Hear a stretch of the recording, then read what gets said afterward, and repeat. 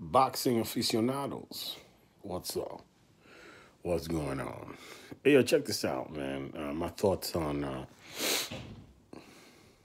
on Valdez versus Stevenson. First of all, kudos to Top Rank for making this fight. It's the type of fight that um that's a rarity these days, right? I mean,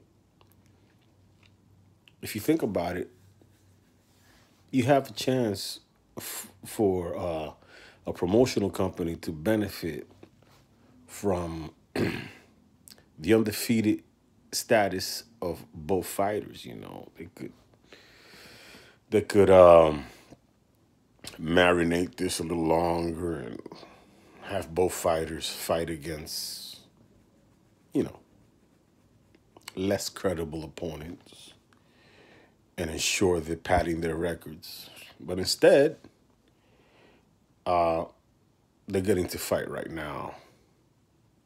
Right when when boxing fans are are clamoring for it. And quite frankly, probably takes people a little get a little getting used to. You know, sometimes we, we we're just not used to getting what we want as boxing fans, and then when we get it, it's like uh, it comes a little too easy. So I don't want to digress from from the actual uh, in ring uh, vitality of this fight. You know,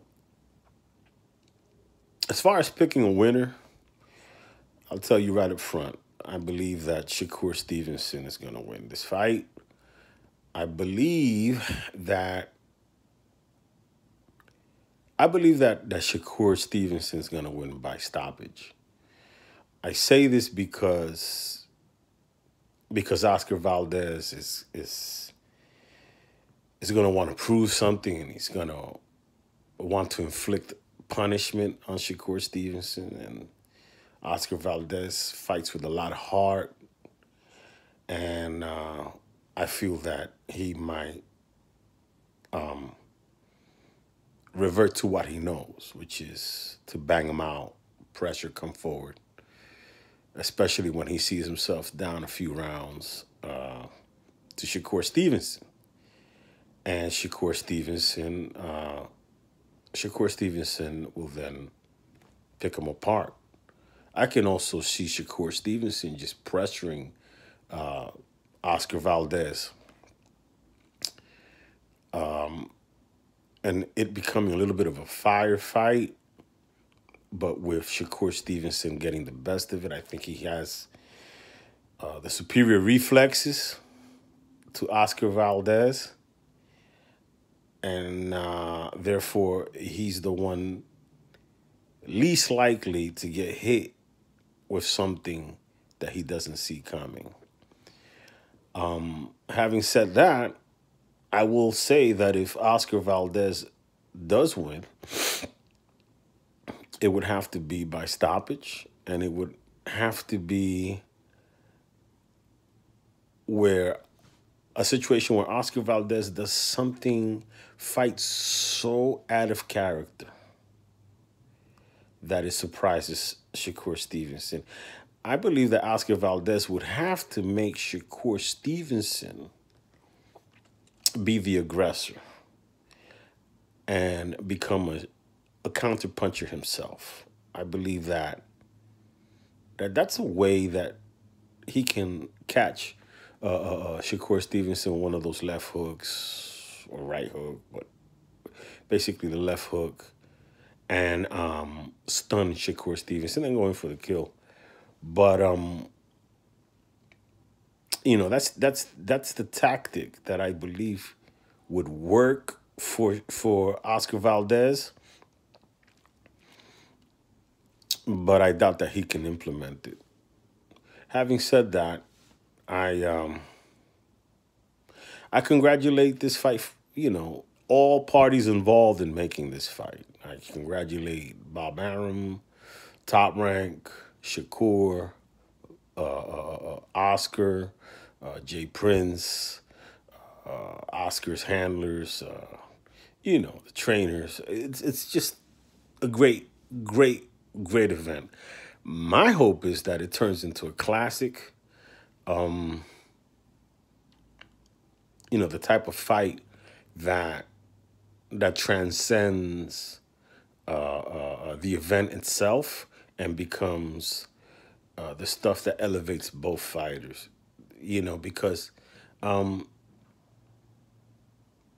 you know, I wouldn't want one of the fighters to suffer the type of loss that renders them uh, unable to uh, progress, move forward from that loss, you know, uh, and and get big fights down down down the line. That's that would be a shame.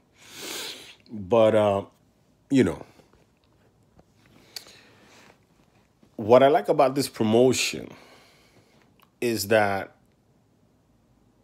what I like about this promotion, uh, one of the things that, that that that is really impressive to me is uh, the shoulder programming surrounding this fight. The blood, the blood. I get a, what is it? The sweat and tears, blood, sweat and tears. It is. I think that the top rank is doing, and uh, I think about that because not so long ago, it seemed like Top Rank had no shoulder programming. I I I was embarrassed for them, you know, like um um PBC had them beat in so many ways. Um PBC had shoulder programming, support programming from both the Fox and Showtime. Um and and Top Rank was whew, uh, wallowing in the mire. Um, this was like about let's say about even up to uh, two and a half years ago. They were further behind in PBC and shoulder programming.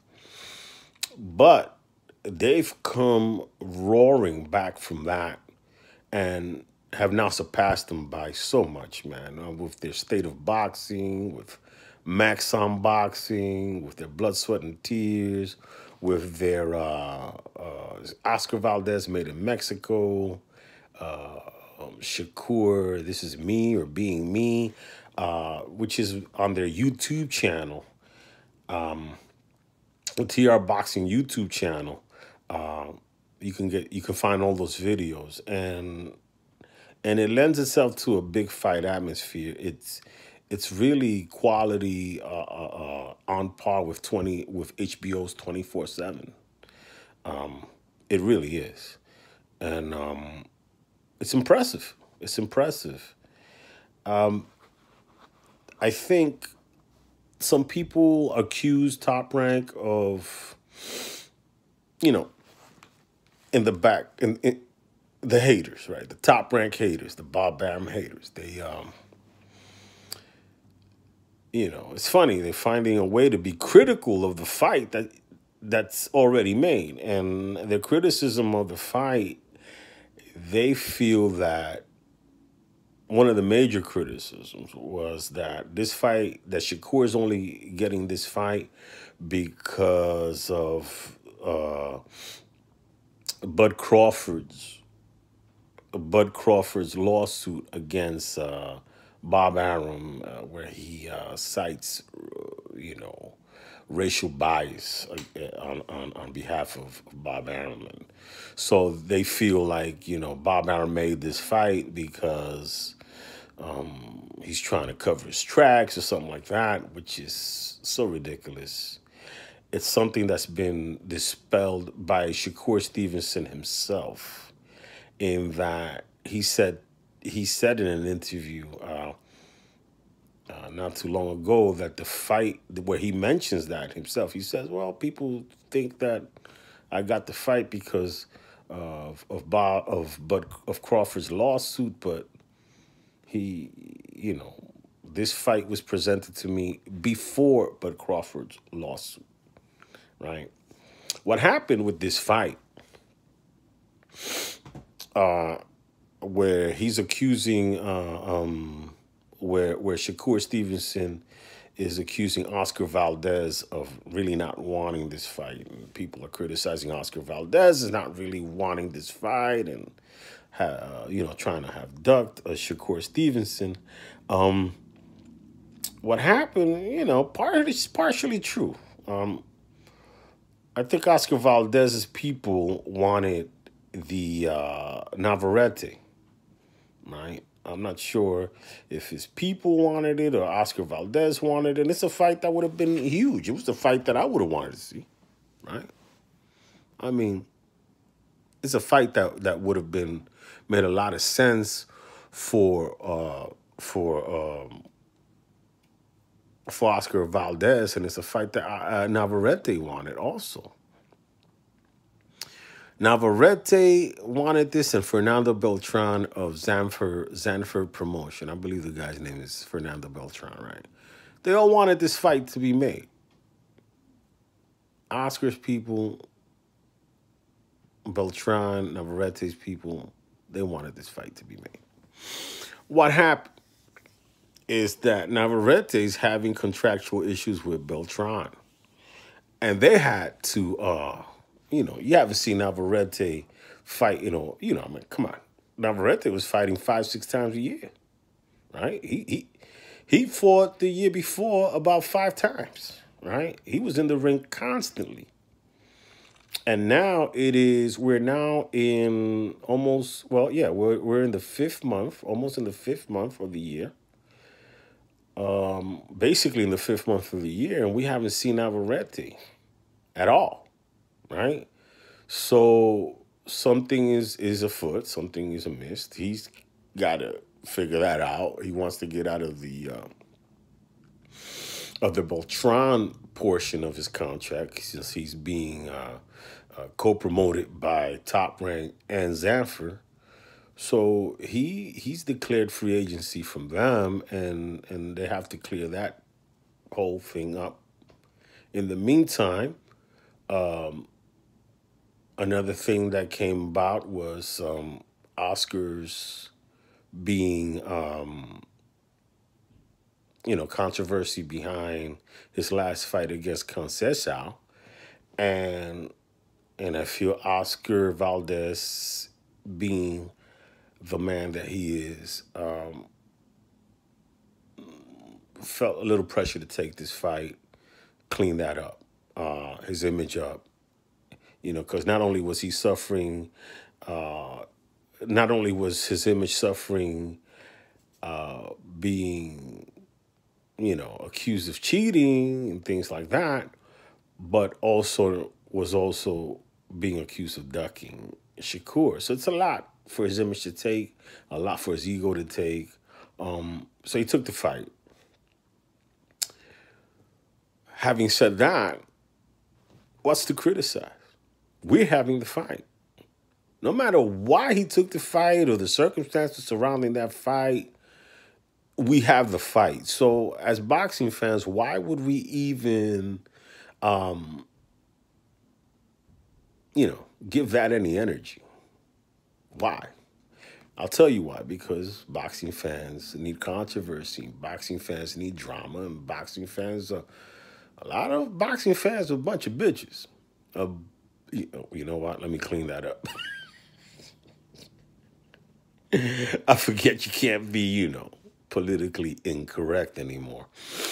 Um, but yeah, boxing fans, man, you know, you know, catty chatties, man, chatty catties, right? That that's it's it's amazing. A lot, you know. Let's face it. A lot of boxing, most boxing fans are male, and and these guys have some real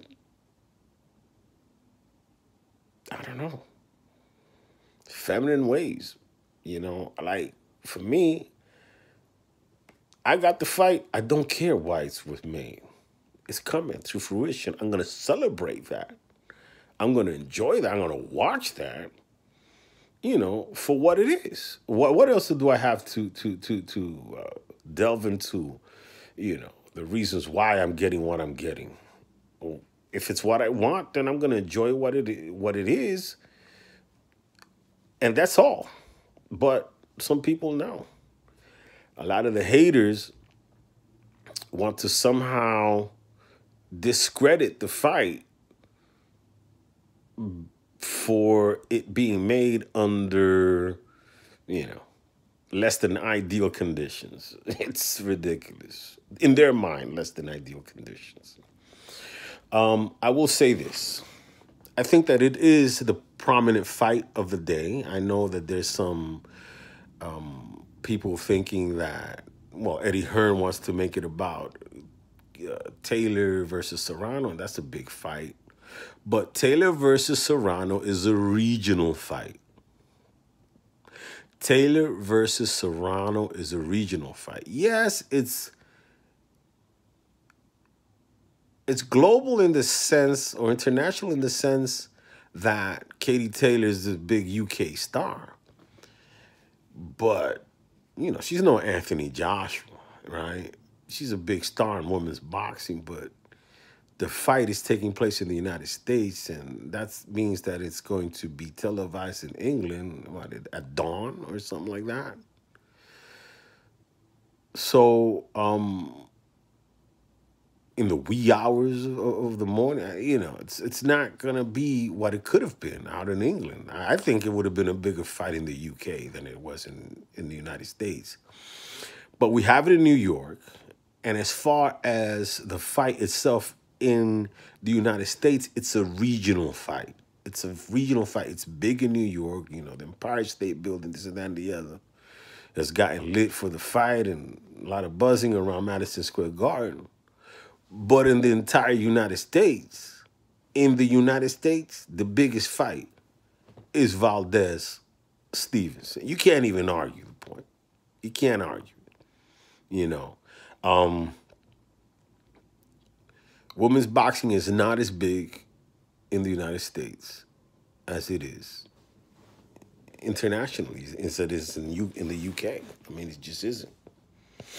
So therefore, Valdez, uh, uh, Valdez, um, uh, Valdez uh, Stevenson is the bigger fight. It's also buoyed by uh, the NFL draft, which is um, using uh, is, is is being used as a vehicle to carry the fight. You know, that's who's bought all the tickets to to to the event in in Las Vegas. Uh, you know, it's expertly, it's being expertly promoted. I believe that most uh, boxing media, most boxing pages that I've seen uh, is, is talking about Oscar Valdez and Shakur Stevenson. It's a hell of a fight. Somebody zero's got to go. Um, Prime. Uh, it's a star making potential. It's a star making vehicle for the winner of the fight, especially if it's a a classic or or or really shut down performance by either fighter. Um, could put them on a pound for pound list. Um, so it's it's it's it's a hell of a fight. That's the stuff that's been missing from you know the sport of boxing as far as making uh, future pay-per-view stars future uh, hall of famers it's been missing from from you know from boxing for a while coming from an era where spence and crawford can't get made spence and crawford could was just as big as it is today uh, three years ago, four years ago. It hasn't really grown much. I don't believe it's grown much. Just because it's now for undisputed doesn't really mean that interest, interest in it hasn't really grown much in the sense that it's still the same hardcore boxing fans who would have seen it, who were interested in it three, four years ago. It has not garnered the casual fans' attention. Crawford Spence has not garnered the casual fans' attention. It has not. It hasn't. None of them are cross have crossover appeal because both of them are like watching paint dry when when they get interviewed. None of them are interesting characters in of themselves. You know, Shakur Stevenson, on the other hand, has the million dollar smile. Shakur Stevenson has the personality that crosses over. Shakur Stevenson has the it factor. The way he talks to the media, the way he handles, the way he's himself, the way he's easy to dislike. You know, a lot of people boo said don't like Shakur Stevenson. A lot of people love him for his skills. That's a perfect mix of interests that crosses over. And if Shakur Stevenson can now put uh, uh, the cherry on top of the cake with a with a with a hellified star making performance against Oscar Valdez, Shakur Stevenson could rise into quite possibly pay-per-view stardom depending on his performance tonight right Shakur Stevenson is also um, right in the sweet spot of a division that's controlled by his promoter. Both at 130, because he has the star in Shakur. And at 135, because he has ties to the guy with the four belts, right? So um, he has a relationship with his the promoter of the guy that has the four belts, the four belts at 135 and Haney and these whole little set 135 pounders. Shakur Stevenson is in prime position to be able to knock off Valdez, right? Unify the division at 130, or at least get three of the belts, right? And then move on and move up to 135 and get a fight with George Kambosos in Australia and knock him off. Y'all think about that, man. It's a hell of a fight for the uh, for future predictors, Hall of Fame, uh, uh, pound for pound list, um, and a star-making uh, uh, event. You know, it is what it is. And it ain't what it ain't. Next level boxing talk, baby. I'm out.